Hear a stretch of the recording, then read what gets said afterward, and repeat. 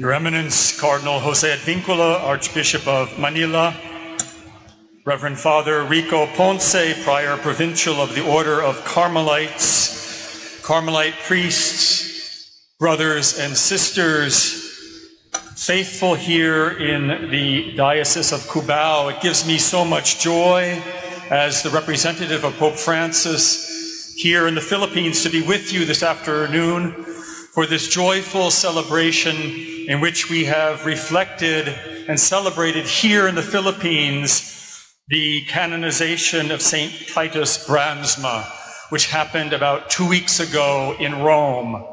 What a beautiful example of the Catholicity of our church. Here we are, many miles, many kilometers away from Rome, celebrating the memory, the example, the luminous example of this priest, Father Titus Brandsma, now Saint Titus Brandsma, an opponent of the Nazis, a journalist, a defender of truth, a martyr of press freedom.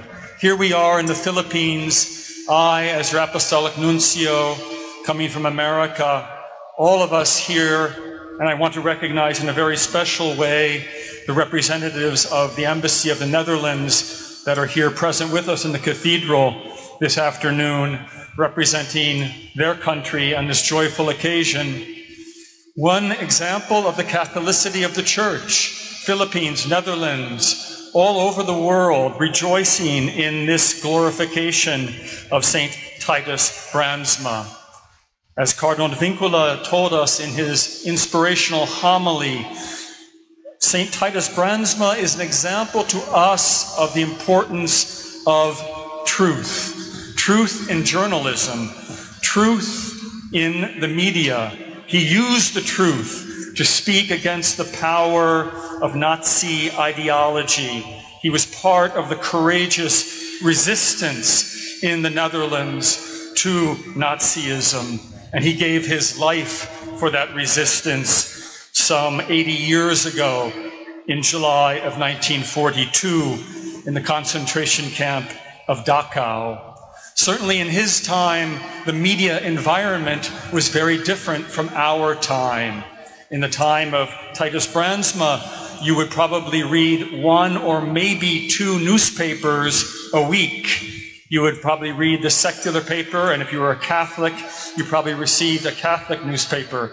Two sources of news. And if you saw an article you liked, maybe you would give it to your family member or to one of your friends. You might cut it out of the paper and pass it to one person. How different our environment is today in the media. All of us who are on Instagram or Twitter or Facebook are receiving information not from one or two sources, but from maybe 100 or 200 sources much information coming into our media environment, our personal media environment, how important it is for us to be students of the truth and to search for the truth in the people that we follow in our media consumption.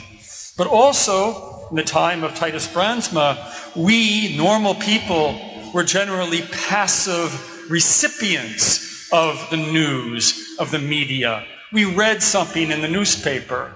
Now we are active participants because we, we see something online and we can share it with many people, our followers. We can like it on Facebook. We can send it to our friends on Twitter and so forth. So we have a large responsibility now as participants in this media environment to be discerning of the truth to love the truth. Jesus is the way, the truth, and the life. The Catholic Church is never afraid of the truth, and we as Catholics need never to be afraid of the truth, but we need to only be afraid of lies and falsehoods. So, St. Titus Brandsma is a great example for us of how we should consume and also divulge and spread media around us in our own lives, whether on Instagram, Facebook, Twitter, or even YouTube.